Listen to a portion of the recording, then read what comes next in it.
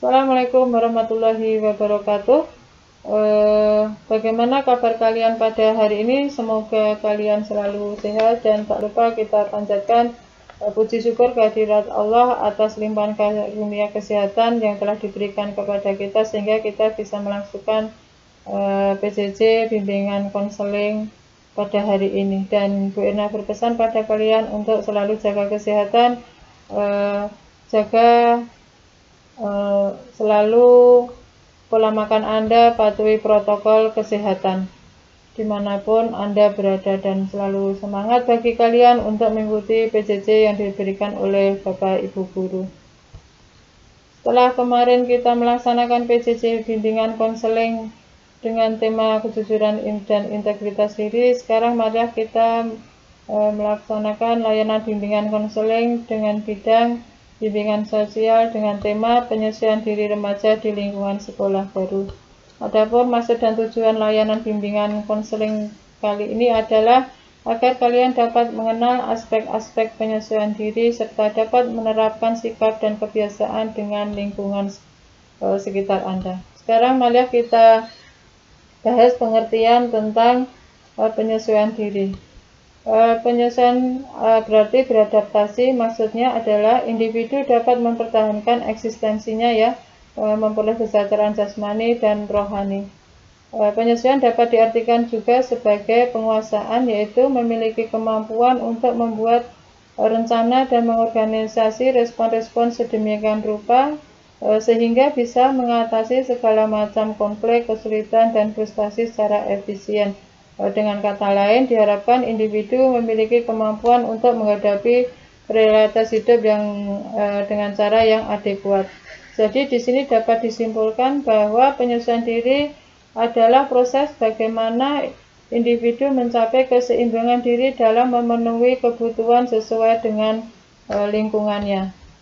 Kemudian adapun karakteristik penyesuaian diri yang positif ditandai hal-hal sebagai Eh, berikut. Yang pertama, tidak menunjukkan adanya ketegangan emosional, kemudian tidak menunjukkan adanya mekanisme-mekanisme psikologis, tidak menunjukkan adanya frustasi pribadi, e, memiliki pertimbangan rasional dan pengarahan diri, kemudian e, mampu dalam hal belajar, menghargai pengalaman, dan terakhir bersikap realistik dan objektif. Dan juga uh, bersikap realistik uh, dan objektif tadi ya. Kemudian dalam melakukan penyelesaian diri secara positif, individu akan melakukan dalam berbagai bentuk antara lain yaitu penyelesaian dengan menghadapi masalah secara langsung, kemudian ada juga melakukan e, eksplorasi, kemudian e, melaksanakan e, penyelesaian dengan trial and error, Kemudian eh, dengan substitusi eh, menggali kemampuan pribadi eh, diri dengan eh, diri dengan belajar. Kemudian ada juga yang melakukan inhibisi dan eh, kontrol diri dan yang terakhir adalah dengan perencanaan yang cermat.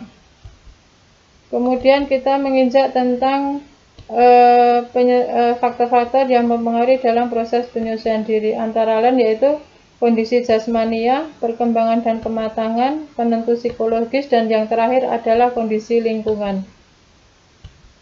E, diri remaja di sekolah e, ini sangat penting ya, karena sekolah merupakan e, tempat menuntut ilmu di mana siswa memperoleh informasi, pengalaman, dan di dalamnya terjadi proses penyelesaian diri oleh segenap warga yang berada di sekolah dan Eh, hal ini akan berpengaruh pada prestasi belajar siswa. Kami paparkan tentang penyesuaian diri di sekolah yaitu antara lain yang pertama penyesuaian diri dengan guru. Eh, hal ini dipengaruhi oleh sikap siswa terhadap guru dan juga tergantung dari sikap guru dalam menghadapi siswa. Oleh karena itu, eh, setiap siswa diharapkan untuk juga memahami masing-masing karakter guru. Untuk selanjutnya yaitu penyesuaian diri terhadap e, mata pelajaran. Mungkin ada perbedaan antara mata pelajaran di SMK dengan di SMP ya, maka dari itu berusaha untuk menyesuaikan diri dan apabila mengalami kesulitan eh, pastikan Anda jangan sungkan untuk bertanya kepada Bapak Ibu guru. Kemudian selanjutnya yaitu penyelesaian diri dengan teman sebaya. Hal ini sangat penting terutama untuk perkembangan sikap sosial misalnya saja eh, siswa yang semula bersikap kurang baik seperti egois, manja, sombong diharapkan eh, dapat eh, berubah karena eh, sikap tersebut tidak akan disukai oleh teman sebayanya. Kemudian eh, diingat juga eh, pandai-pandailah memilih kawan dalam bergaul ya, jangan sampai salah pergaulan sehingga terjerumus dalam pergaulan bebas penyelesaian diri yang lain yaitu yang terakhir terhadap lingkungan sekolah misalnya saja dengan fasilitas sekolah, kepala sekolah, guru yang mengajar, kemudian staf e, karyawan dan e, sebagainya. E, adapun cara untuk menyesuaikan diri di sekolah antara lain yaitu yang pertama pelajari situasi. Penting dan perlu kalian perhatikan yang pertama yaitu ya e, sebelum masuk sekolah belajar untuk mengenal lebih dekat e, lingkungan sekolah baik letak geografis sekolahnya e, arah perjalanan dari rumah ke sekolah kemudian lingkungan sekitar sekolah dan sebagainya. Anda biasakan ya untuk mengenal situasi yang baru dan beradaptasilah di dalamnya dan tidak perlu takut pada situasi yang baru dan pastikan bahwa Anda aman berada di lingkungan sekolah yang baru. E, yang kedua yaitu dengan berbaik sangka. E, hilangkan segala pikiran bahwa kalian di lingkungan sekolah baru kurang menyenangkan. E, ganti kalimat tersebut dengan penuh e, apa kalimat-kalimat yang positif seperti lingkungan sekolah baru akan sangat menyenangkan Begitupun dengan teman-teman dan guru-guru yang ramah dan mengasihkan. Kemudian yang ketiga adalah sesuaikan keadaan e, sekolah. Sebaiknya dari jauh-jauh hari siapkan informasi tentang sekolah baru, entah itu peraturan sekolah atau kebiasaan guru yang mengajar.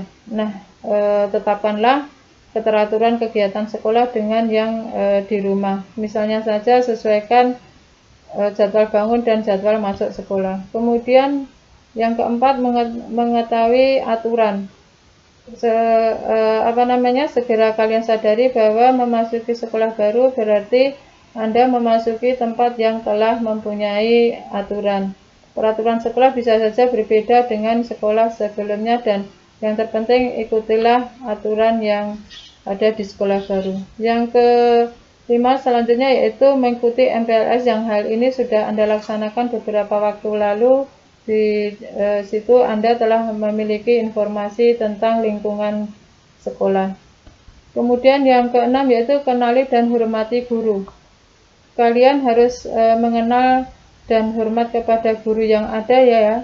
E, bagaimana caranya yaitu guru adalah orang tua saat Anda di sekolah sehingga e, perlakukan Beliau layaknya sedang berhadapan dengan orang tua Anda di rumah.